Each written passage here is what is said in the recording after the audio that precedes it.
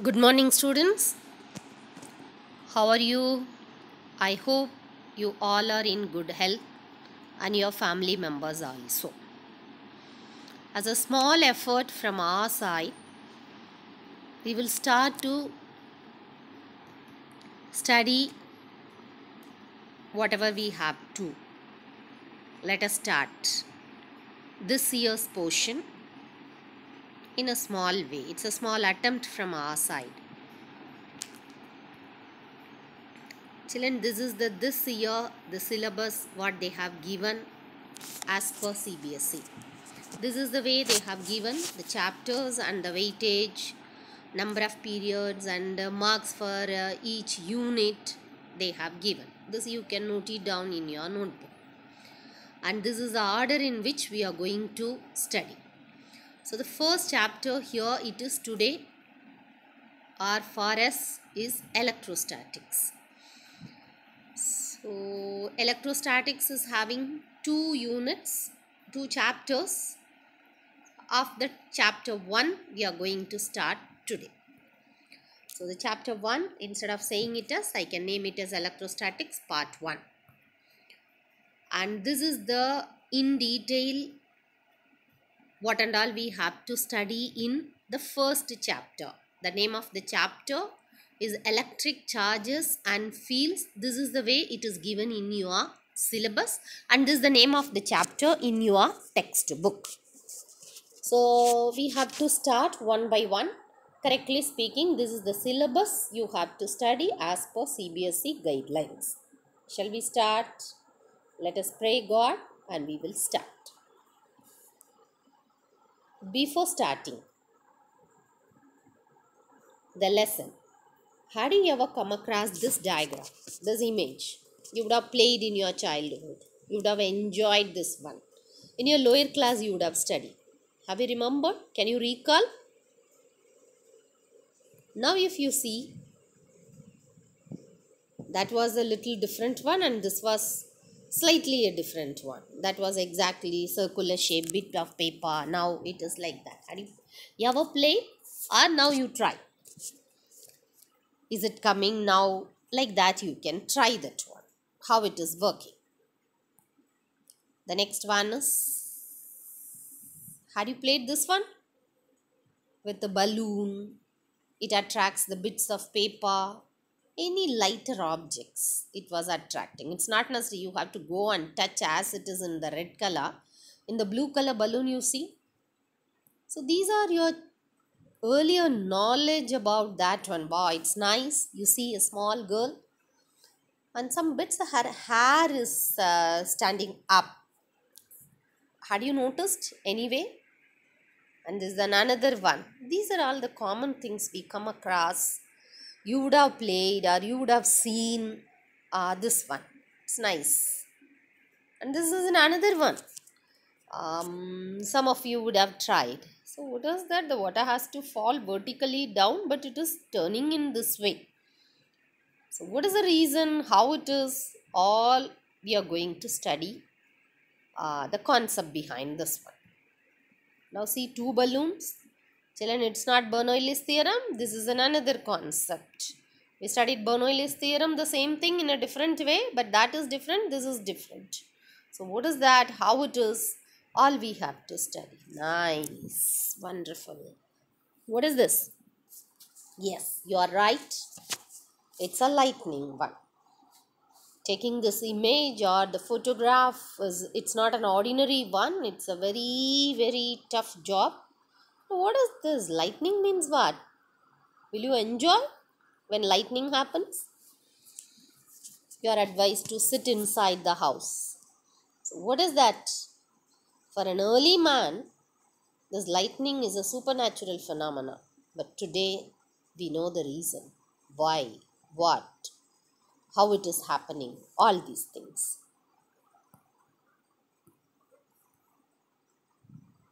Can you see this diagram?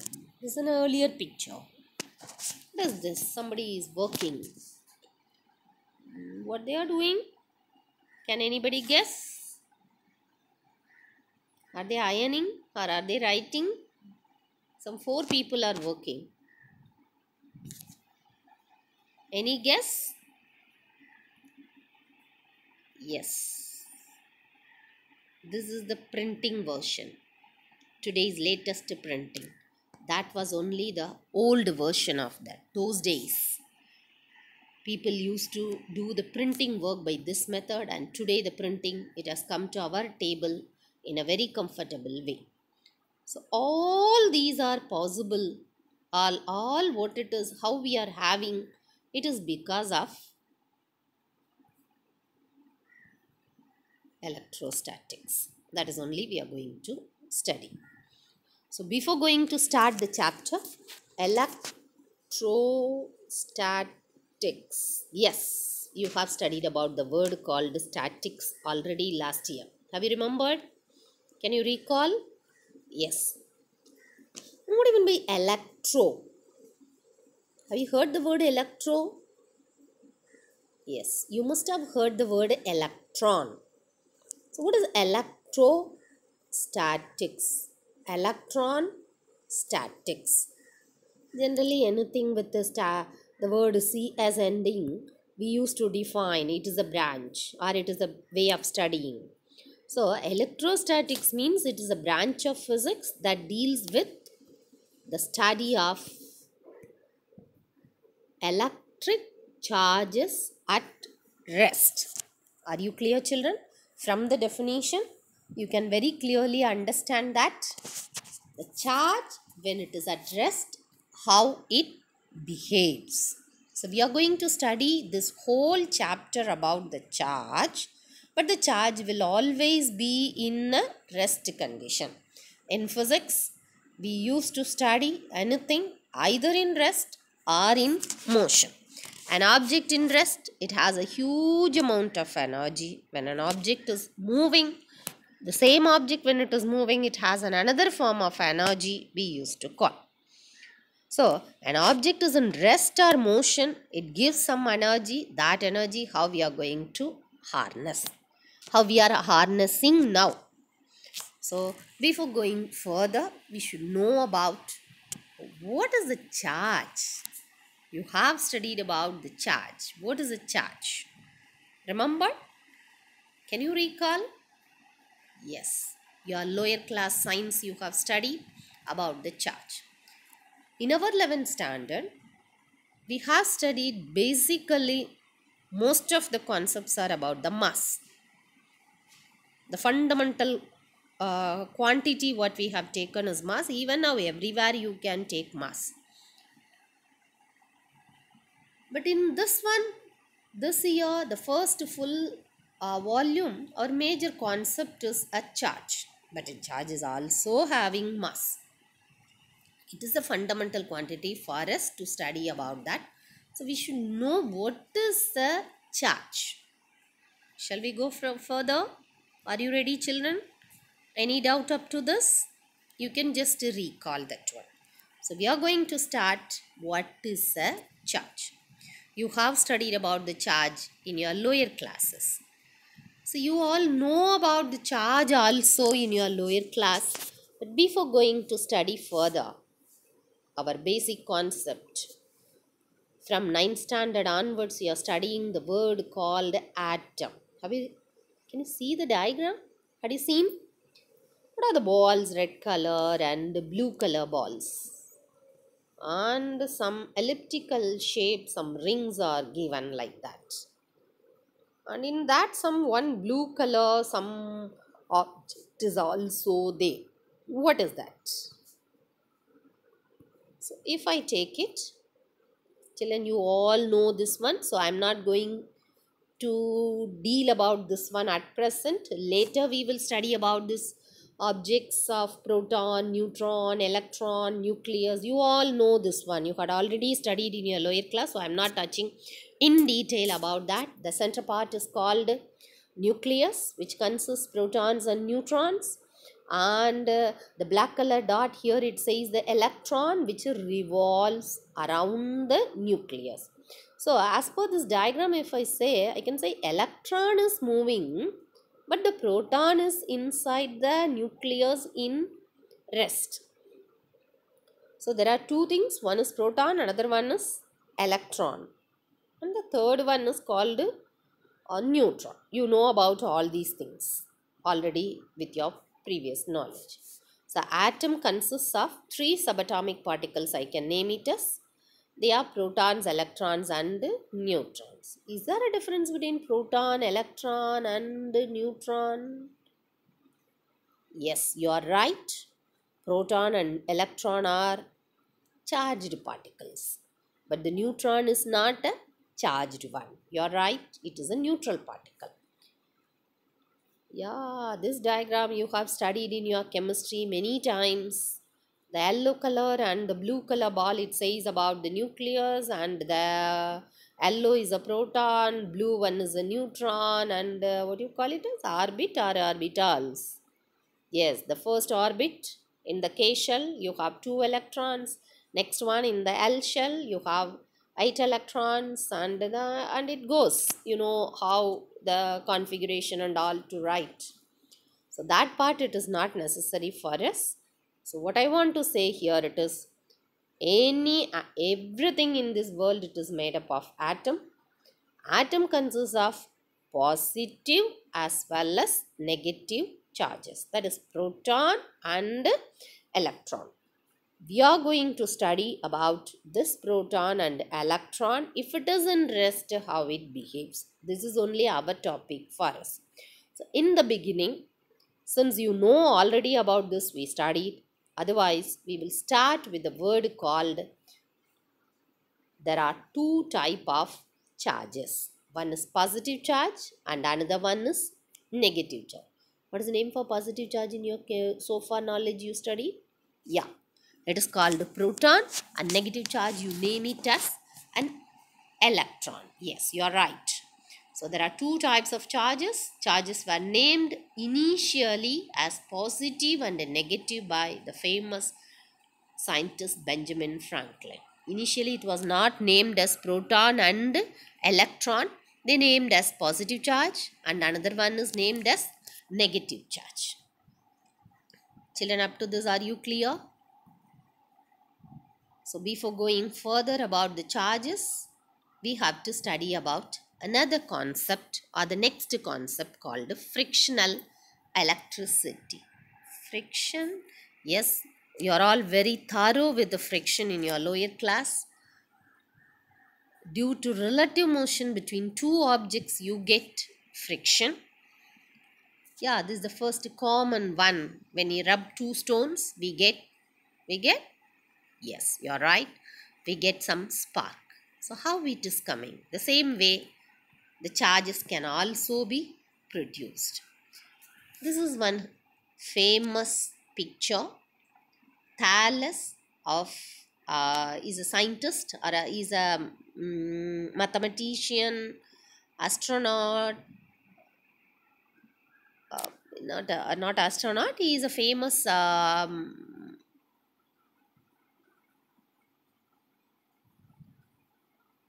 studies about the astronomy, behavior of stars and other things from a place in Miletus. It is in Greek. So he studied about the behavior of some naturally occurring substance. From that he got it. So this was the earlier picture. So from that only the idea of electrostatics further developed. It was in 600 BC so this is a famous uh, thing. And uh, this great person discovered that when we rub fur on certain substances such as the substance named as amber would cause an attraction. So when uh, it was a th- those days for uh, Thales it was a naturally occurring substance amber. It was rubbed over fur. He found that was getting attracted. So how it gets attracted? That way that particular branch has developed further and this is the um, small biography about this great person. It's a philosopher. Sorry, I couldn't recall that time immediately that word. And this is the original picture of amber. Greek word is uh, amber in is called electron in Greek Yes, this is only our electron, but the spelling is different. From amber, from the word electron, today we name the negative charges electron. Yes, this is the history of the word called electron. Shall we study further? Are you not? So, this some more informations about uh, amber as an additional information for you just to go through. Mm, you know about all these things so just uh, go through children. So the history of electricity started from thales then the william gilbert yes have you remembered? In your 7th standard you have studied about this person and the benjamin franklin the famous kite experiment so what is electricity what is static electricity electricity is different static electricity is static means which is anything which is in rest, which doesn't move. Can we say velocity is zero? Yes, you are right. So, how to get the charge? Before going to study further, I'm saying charge, charge. Where to get the charge? How to get the charge? I'm saying simply you get uh, it is charged, it is positively charged. Can I go to the shop and get some positive charge? some negative charge? No. So, how to charge an object? Already I said there is one word in between frictional electricity. By friction, we can generate, we can produce some amount of uh, charges. But the charge should be in rest in this chapter. We will make the charge to move later. Time being, let the charge be in rest. Now, see, in this diagram, can you see? Yes. A person is holding fur in one hand and rubber uh, in the shape of a rod. He moves front and back the rubber rod over the fur. So as he moves, just what will happen? There is a friction between the rubber and fur. Yes, you are right the person is doing some amount of work. Whenever we do a work, we get some amount of energy.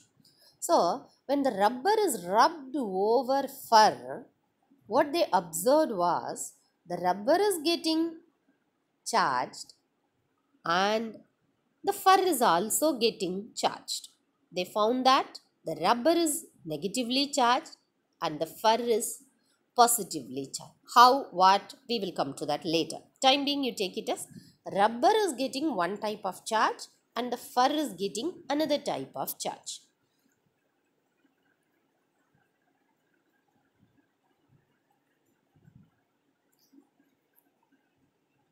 Now see, can you understand? Perspex rod, a kind of polythene, a kind of plastic rod you take it. That doesn't matter what it is made up of um, when such a perspex rod is rubbed over a dry cloth, they found that after some time the cloth becomes negatively charged and the rod becomes positively charged. So, whatever it is, one is positive, another one is negative. Don't use the word electron now. The third one is ebonite rod. Ebonite rod is rubbed over animal fur or any flannel cloth also you can take it when I rub ebonite rod over animal fur, I found that after rubbing or because of the rubbing work what I am doing, the ebonite is getting negatively charged and the animal fur is getting positively charged. Yeah, this is the thing you have studied in your lower class. A glass rod is move one over the other.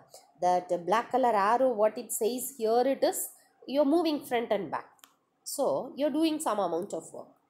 So what is happening here it is because of rubbing glass over silk after some time my glass becomes positively charged and my silk becomes negatively charged. So in all these things so far whatever we studied if you take it you see here the one is negative another one is positive one is positive negative positive negative positive negative so actually what is happening here it is Initially, when I take all are in a neutral state. This is neutral, this is neutral.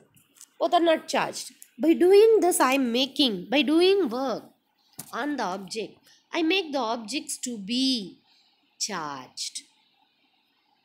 So, what is charged? So, is for example, you take the silk cloth and the glass rod. We have already studied about, you know, electrons and protons. Electron only will move from one place to another place, but it is very, very difficult to move the protons from one place to another place. In your previous examples, one object is negatively charged, another object is positively charged, we said. Actually, what is happening is when I rub one, one object over the other object, electron is moving from one to the another one. Your ebonite rod is negatively charged because ebonite rod is gaining some electrons. In this case, in this diagram, when a glass rod is rubbed over silk cloth, the glass becomes positively charged. That means the electrons are moving from the glass to the silk. Are you clear? Movement of electron only will take place. The glass rod is positively charged means glass rod has lost some electrons and the silk has gained some electrons. So we'll see with some more examples. Some more with the numbers also we can uh, study about this one. Children up to this are you clear? Now see, I have taken a thing. Um, uh, the first one is uh, the first diagram you see. I have taken two glass rods. When a glass is rubbed over silk, the glass becomes what type of charge? Yes, you are right. It is positively charged. So, I have suspended such one glass rod with the help of a silk, silk thread. Now I bring another positively charged, that is the rod which is rubbed over silk. I am bringing. So, whether positive or negative, you leave about that. A glass rod rubbed over silk. Glass becomes charged. Another one I am bringing. When I bring both the glass rods nearby, I found that the glass rod starts to move apart. They are not moving together. Okay.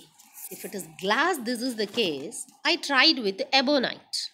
The next one is ebonite I have taken. I've taken the ebonite rod and bringing near the glass rod. But I found that, you see the arrow marks here? The uh, F, what it is written. Both the F's are together. That means they are getting attracted. Both the glass rods are getting repelled. The glass rod and ebonite rod both are getting attracted. That means I can say that the first diagram both are same type of charge. Second diagram both are yes not the same type of charge maybe opposite type of charge. One is positive another one is negative. This is the way they started to study about the charges. Um, this is one small example. Now see this is exactly your textbook diagram. Some of you are not having the textbook at present that's why the same image is copied and pasted here. You see both the glass rods are getting attracted. Another one is with the that uh, have you remembered the word perspex rod a plastic rod? Both are getting uh, or any kind of a rod a plastic rod. It gets attracted and uh, glass rod and plastic rod how it moves this one. This is your textbook diagram. Similarly a neutral object by doing or by rubbing one over the other it can be charged. You take a glass rod initially it was in a neutral state. When you rub it becomes positively charged. Ebonite rod initially was a neutral one. When it rub over fur it becomes negatively charged. So it is because of the movement of electrons. Children if you see this diagram can you see this one? When when they rub. See can you see neutral? And when I rub one over the other the electrons are only moving. Initial diagram it has three positive charge three negative charge. When I rub over that what is happening? Can you see here? Electrons are moving from the blue color stone to the red color stone. So the number of electrons in the red it is increased. It has lost electrons. It has gained the electrons. So the red becomes negatively charged and the blue becomes positively charged. It is the positively charged means it has given, the blue has given the electrons to the red. The red has become negatively charged because it has gained the electrons from the positive. This is the way an object is charged. Are you clear? So generally any charging is carried out by this method. I hope you are clear. So this is about how the material is getting charged either by losing electron or by gaining electron. If it gains electron, what it becomes? Yes, you are right. It becomes negatively charged. I get many electrons in my hand.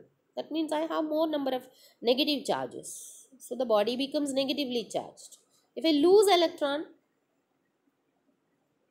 yes, it becomes a positively charged. Remember, the positive charge is not at all moving, only the negative charge is moving.